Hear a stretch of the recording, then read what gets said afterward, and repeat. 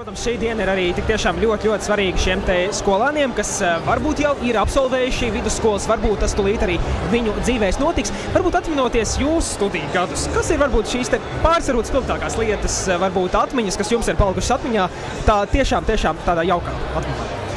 Wow, tas bija tik ļoti sen, kad es pabeidzu skolu, bet es ļoti labi atceros, Eh, ka man skolo, es gribēju būt kosmonaute, ļoti gribēju būt kosmonaute. Man skolotāja teica, nu, klausies, tu esi pa garu un pa tievu, nu neizdosies.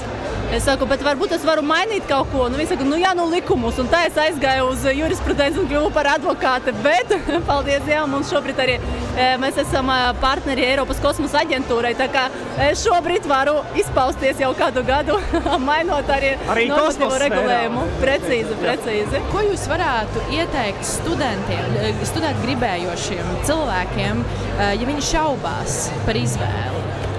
Pirmām kārtām ir jāuzdod jautājumi, ir jārunā, ir jāatrod cilvēks un skaļi jāpasaka, kāpēc, kāpēc es šaubos. Uh, jāiztasa sava ideja, un mēs jau palīdzēsim. Tā var būt mamma, tas var būt skolotājs, tas var būt docētājs, bet ir jārunā, jādiskutē par problēmu un jā, jāpiekrīt. Ir jāpiekrīt, nedrīkst baidīties nekādā gadījumā, un ja tas, ko tu esi izvēlējies, uh, nesanāk, tad vienmēr gan mēs, gan arī kolēģi, gan arī ģimenes palīdzēs atrast ko citu, bet ir jārunā primāri, jāatzīst, nepatīk, jāatzīst, ka nesanāca, jāatzīst, ka grūti. Eh, un jāmeklē tas, kas padodas.